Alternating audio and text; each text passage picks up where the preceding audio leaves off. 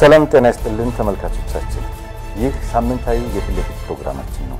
የዛሬ የፊት ለፊት እንግዳችን የቅዱስ ጊዮርጊስ እግር ኳስ ቡድን የቦርድ ሊቀመንበር አቶ አብነት ገብረመስቀል